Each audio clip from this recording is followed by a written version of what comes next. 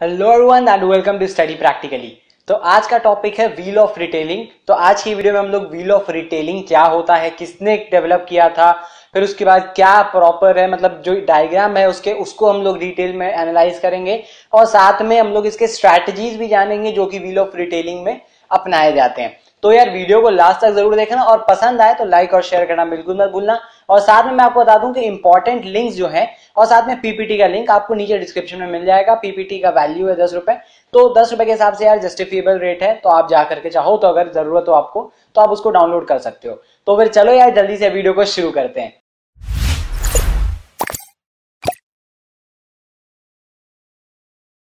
तो सबसे पहले यार क्वेश्चन यही आता है व्हील ऑफ़ रिटेलिंग है क्या? ठीक है व्हील यानी कि चक्र है, ठीक है, समझ में आ रहा है रिटेलिंग यानी कि जो रिटेलर्स है उनके लिए। तो प्रॉपर समझने का कोशिश करते हैं यार। तो व्हील ऑफ़ रिटेलिंग क्या एक हाइपोथेटिकल थ्योरी है, यानी कि एक हाइपोथेसिस है, जो कि आपको मैलकॉम पी मैकनायर ने दिया था 1931 में। ठीक है तो वो बंदा कौन है यार? वो बंदा वो है जो कि 40 साल के आसपास हार्वर्ड यूनिवर्सिटी में पढ़ा चुका है। तो उसने ये चीज़ थ्योरी को दिया था। तो ये थ्योरी क्या कहती है? ये एक हाइपोथेटिकल स्टोरी है थ्योरी है। क्योंकि ये बहुत जगह होती है, कहीं कहीं केसेस में नहीं भी होती है, ठीक है? तो हर जगह ये फॉलो हो ये ज़रूरी नहीं है, इसलिए हाइपोथेसिस एक तरह से दिया गया, कहा जाता है ठीक है? तो ये एक ऐसा थ्योरी है जो कि आपको बताता है कि जो रिटेलर होते हैं उनका जो चेन होता है, वो कैसे काम करता है? यानी कि जब वो मार्केट में एंटर करते हैं तो वो क्या करते हैं? और उसके बाद जैसे जैसे वो बड़े होते हैं तो वो क्या करते हैं? That is all about wheel of retailing ठीक है? तो ये व्हील ऑफ़ रिटेलिंग का प्रॉपर डेफिनेशन है। अगर आप इसको चाहो तो इंग्लिश में भी लिख सकते हो। It is it is hypothetical theory given by Malcolm P McNair in 1931 which states that it states actually the behaviour of a retail organisation while entering into the market and further how it behaves after becoming the leader in the market. ठीक है? Normal भाषा में ये है, बाकी theoretical आप जाओगे books पे और तो वो आप नीचे लिंक्स में देख लेना, अगर आपको याद करके लिखना हो। तो बेसिकली यही है, ये मैंने अपने डेफिनेशन एक तरह से अपने से जो समझा हुआ वो मैंने आपको बता दिया। आप ये भी लिखोगे तो कोई गलत नहीं कह सकता इस चीज़ को। ठीक है? तो ये आपका होता है व्हील ऑफ़ रिटेलिंग अब बात करते हैं व्हील ऑफ़ रिटेलिंग है क्या? तो यार डायग्राम आप देख सकते हो सीधा ये डायग्राम है व्हील ऑफ़ रिटेलिंग का। तो बहुत सारे जैसे लाइफ प्रोडक्ट लाइफ साइकिल होता है इंडस्ट्री लाइफ साइकिल होता है। तो जैसे वो सब चलते हैं वैसे ही ये भी है।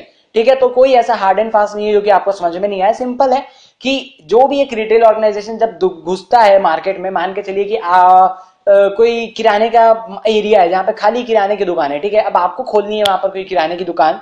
तो आप क्या strategies अपनाओगे? That is all about wheel of retailing ठीक है? तो इस एग्ज़ाम्पल को हम लोग पकड़ के लेके चलेंगे। तो इसी एग्ज़ाम्पल से समझने का कोशिश भी करिएगा।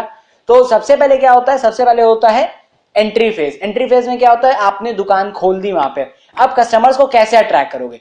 ठीक है? कस्टमर्स को अट्रैक्ट करने का सिंपल तरीका होता है शुरुआत में के समय में प्राइस फैक्टर ठीक है? तो अगर आप लो प्राइस पे ऑफ़र करोगे तो कस्टमर्स आपके पास आएँगे और ऐसे ऐसे आप अपने कस्टमर्स का बेस बढ़ाते हो, ठीक है? तो एंट्री फ़ेज़ में यही होता है कि जो रिटेलर्स होते हैं, जो रिटेल शॉप्स होती हैं, वो लो प्राइस लो मार्जिन रख के लो प्रॉफिट्स रख करके ऑपरेट करना शुरू करती हैं। ये पहला फ़ेज़ होता है, ठीक है? फ़ेज़ वन भी इसको कहा जाता है।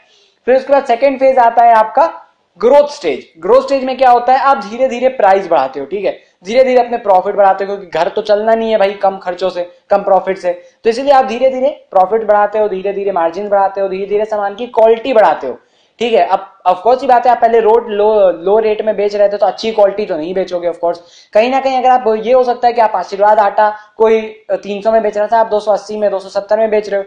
आप इसके थ्रू कस्टमर अट्रैक्ट कर सकते हो। और दूसरा होता है कि आप कोई और ही आटा ले करके बेच रहे हो, डेढ़ सौ रुपए में।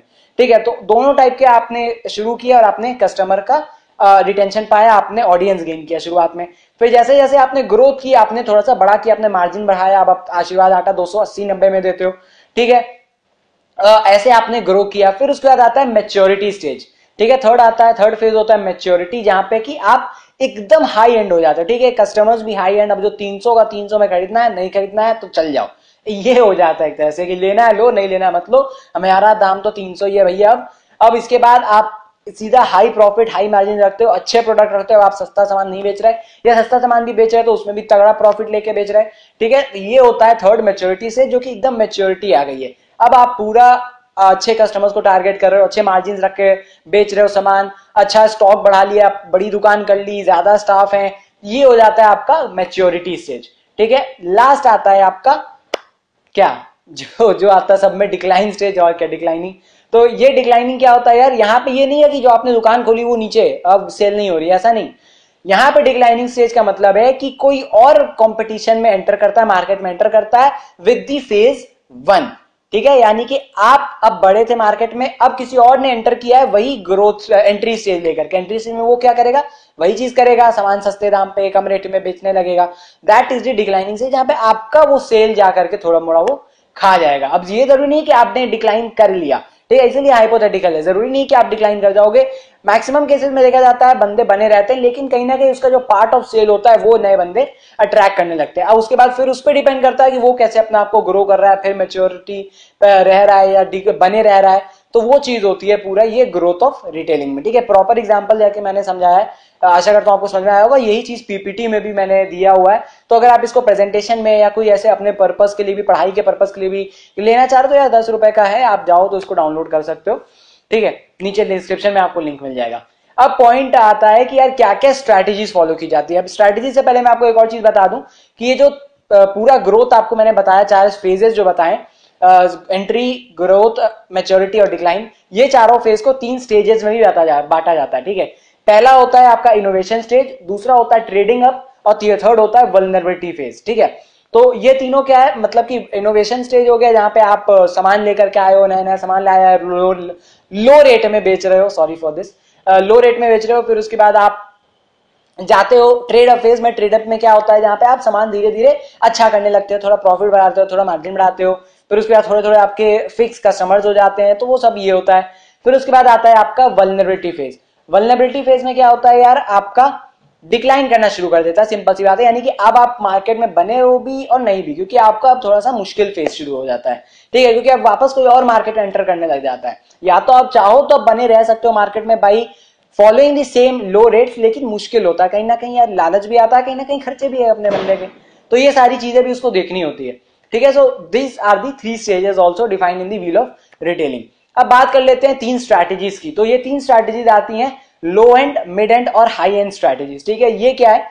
ये तीनों स्ट्रैटेजीज है जो कि ये बंदे रिटेलिंग में आपको तीनों स्टेजेस में लगाते हैं। ठीक है तो आ, आपकी सोचो यार आप ही की दुकान है मान के चलो किराना की तो आप क्या क्या स्ट्रैटेजी लगाओगे? आपने जब इनोवेशन स्टेज था आपने क्या किया? आपने सामान कम रेट वाला लाया थोड़ा मार्जिन घटा करके बेचा सामान, ठीक है? कस्टमर्स को अट्रैक्ट किया। तो ये आपका low end media low end strategies होती है जहाँ पे आप कम रेट कम मार्जिन बेच करके ज़्यादा ऑडियंस को केटर करने का कोशिश करते हो। सेकंड आता है आपका mid end strategy mid end strategy होता है जहाँ पे आप थोड़ा सा हल्का सा अपना स्टॉक बढ़ाते हो, अपना क्वालिटी बढ़ाते हो, अपने मार्जिन हल्के से बढ़ाते हो थोड़ा सा अपना क्वालिटी अच्छा करते हो यार, दूर मतलब थोड़ा सा एक्सपैंड करने का भी कोशिश करते हो। अब ये मिड एंड स्ट्रैटेजी होती है जहाँ पे कि आप चाह रहे हो कि हाँ यार, अब ये चीज़ तो हो रही है थोड़ा सा और इसको अच्छे से करने का कोशिश करते हैं। ठीक है, ये मिड एंड स्ट्रैटेजी है जो कि बंदा फॉलो करता है। थर्ड लास्ट आती है आपकी हाई एंड स्ट्रैटेजी ये थर्ड है। ठीक है तो ये हाई एंड स्ट्रैटेजी तब आती है जब कस्टमर्स जो आपके जो दुकानदार हैं, वो एकदम हाई एकदम हो जाए, पूरा एकदम अपने मेच्योरिटी स्टेज पर है, जब पूरा एकदम भरपूर एकदम मान के चलिए दस बीस, आप उस एक दुकान से उठ करके आपने दस बीस पूरे शहर में दुकानें खोल ली है तो अब ये क्या है कि आप एकदम पूरे हाई एंड हो। अब आप सामान एकदम एक ये मार्जिन कट पे बेचते हो, ठीक है, आपको इससे कम में बेचना नहीं है। तो ये आपका हो जाता है एकदम हाई एंड स्ट्रैटेजी जहाँ पे आप एकदम अच्छे मार्जिन लेकर के आप अच्छे सामान और ज़्यादा से ज़्यादा लाने का कोशिश करते हो ज़्यादा से ज़्यादा सामान लेने की कोशिश करते हो ताकि आपको कम रेट पे मिल पाए। तो ये चीज़ें हाई एंड स्ट्रेटेजीज में आती हैं। तो ये है total overall wheel of retailing अगर आप इसको एग्ज़ाम्पल से समझना चाहें या नॉर्मल स्टार्टअप के भाषा में तो आप इसको जोमेटो स्विगी से भी समझ सकते हैं कि जोमेटो ने क्या किया, जब उसको घुसना था एक ऐसे इंडस्ट्री में जहाँ पे खाली जो मतलब रेस्टोरेंट केटर थे, लोगों को आदत नहीं थी घर में मंगाने की तो उसने क्या किया, उसने कम रेट पे या डिस्काउंट पे शुरू किया अपना सर्विस ठीक है, फिर उसके बाद लोगों को आदत होने लगी तो उसने धीरे धीरे डिस्काउंट कम किए। पहले पचास रुपए डिस्काउंट था, अब तीस रुपए कर दिया। लोगों को अभी भी आदत बनी हुई है तो धीरे धीरे लोग यूज़ कर रहे हैं। अब उस तीस को और बीस दस पे ले गए। ये एकदम हाई एंड स्ट्रेटजी है यहाँ पे। बंदा एकदम पूरा तो मतलब एकदम निचोड़ लिया। जोमेटो अब ट्राई कर रहा है कि अब हम प्रॉफिट में आएँगे, अब हम लीस्ट प्रॉफिट देंगे, ठीक है? एक तो रेट बढ़ा करके बोलेंगे और ऊपर से लीस्ट डिस्काउंट देंगे तो ज़्यादा जिससे हम लोग को प्रॉफिट हो। अब डिक्लाइनिंग स्टेज इसका तब आएगा यार जब कोई नया कंपटीशन मार्केट में एंटर कर जाए। थोड़ा सा मुश्किल होगा बिल्कुल ऑफकोर्स बात है क्योंकि हाईली इन्वेस्टेड जोमेटो कंपनी है, इतना बिलियन डॉलर का यार हो चुका है और अब तो आईपीओ भी लॉन्च हो चुका है। तो ये सारी चीज़ें होने के बावजूद भी लेकिन अगर कोई चाहे तो कॉम्पिटिशन में एंटर कर सकता है with the same way Zomato entered ठीक है, ये है नॉर्मल व्हील ऑफ़ रिटेलिंग का परिभाषा। आशा करता हूँ आपको समझ में आया होगा। अगर कोई दिक्कत हो, नीचे कमेंट करके या इंस्टाग्राम लिंक पे आकर के मुझे मैसेज कर सकते हो। एंड जैसा मैंने बताया डिस्क्रिप्शन में आपको इंपॉर्टेंट वेबसाइट्स के लिंक्स और साथ में PPT at only rupees ten आपको मिल जाएगा। तो आप चाहो तो उसको जाकर के देख सकते हो। मिलते हैं तब तक कोई और ऐसी इंटरेस्टिंग से वीडियो में। तब तक के लिए bye bye take care and जय हिंद, वंदे मातरम।